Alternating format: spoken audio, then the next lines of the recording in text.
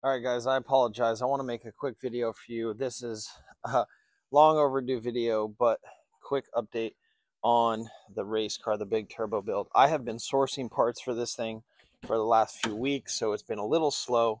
The boost gauge, I have a bit a better boost gauge video coming out for you guys. It's almost done being edited, but we're just finishing some of the wiring.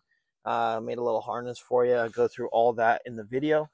Um, I'm also having some issues tuning it. That's why the laptop's sitting there and I have the OBDLink SX cable. Um, having some issues tuning the new ECU that we put in.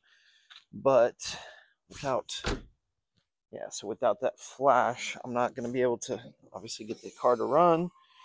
But um, yeah, so same old, no big advancements. Still got to do the coils, still have a lot to do, which is covered in the next video. But I just wanted to show you the parts that I actually got. So let me run back inside. I got the manual TX out here.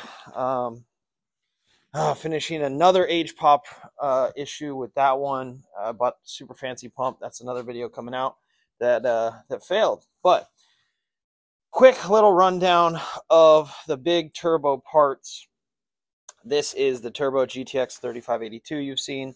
I'm running some of the lines, which is in the upcoming video as well um, just kind of the, the I would love your guys' uh, feedback.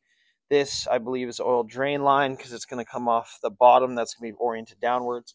Um, then obviously we could clock this however we need for in the car. These are three bar map sensors, GM stage one from ZZP, ZZ Performance. Um, so how to source these, how to source half inch, uh, this is fuel line, but I'm going to use it for coolant lines. if anyone has better a better way to run these banjo bolts that came with the turbo um, or any solution line wise, uh, please let me know. I also needed a boost controller. Machinize is the tuner and he's been recommending, so I got this electronic boost controller off Amazon. I'm not sure if it's going to work, but we shall see. Keep you guys posted.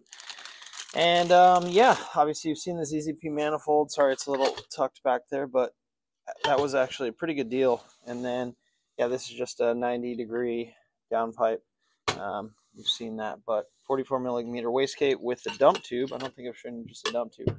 That's just going to dump straight out. So the car's coming back inside tomorrow. We're going to fire this up. That'll be gone. That'll be done. Then we're going to dive back into the Saab stuff. And like I said, sourcing all these parts, getting these sensors, talking to the tuner. I have a whole like breakdown of the email chain that I had with the tuner. So you get to check all that out. But that's the update, guys. Um, just wanted to say thank you so much for watching. Thank you so much for being a part of this channel. Um, I'm having a lot of fun doing it, uh, you know, kind of in my spare time, and Justin's enjoying it. So Jay's Garage is alive and well. If you've liked this video, if you liked any of the build series thus far, please drop a comment, say uh, kind of what you're thinking about the series or what you want to see in the next upcoming videos and also like this video and subscribe to the channel if you haven't already. Thanks so much. We'll see you in the next one. See ya.